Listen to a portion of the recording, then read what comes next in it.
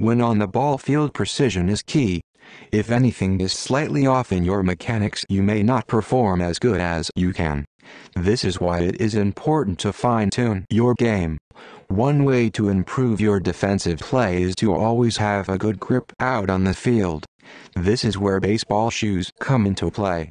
Choosing men's baseball shoes can be tough, but there are some factors to consider in order to help you narrow down your search.